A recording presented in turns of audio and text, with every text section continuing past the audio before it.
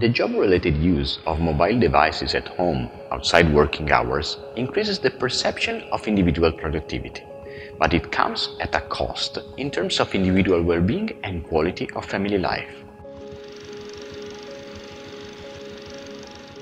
In a paper with Manju Ahuja and Chiara Trombini, we found that heavy usage of mobile devices for work purposes at home can lead to an increase in self-perceived productivity, but also in stress-related level of somatic symptoms and need for recovery.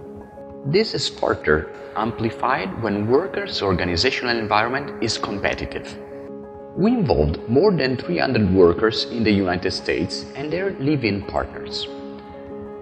Participants were asked to complete two surveys two weeks apart. The first measured the extent of conflict between family and work commitments, as well as how competitive their workplace was. The second survey asked about their productivity, where they had experienced any somatic symptoms, their need for recovery, and whether they had been unpleasant to their family. At the same time, their partners fill out a single survey about participants' mobile phone use for work-related activities outside working hours.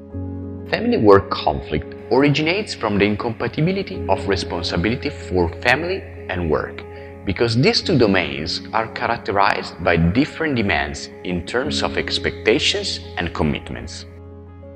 Individuals have to make trade-offs in allocating time and energy because they have a limited pool of resources.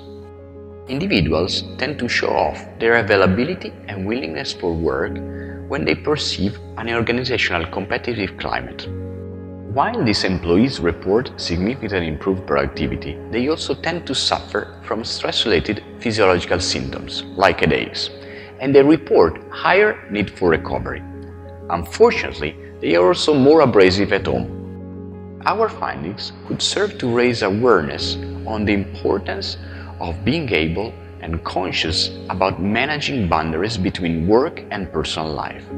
Well-being and responsible use of technology can be traced back to individuals' behavior and organizational culture, and the right to disconnect should be respected.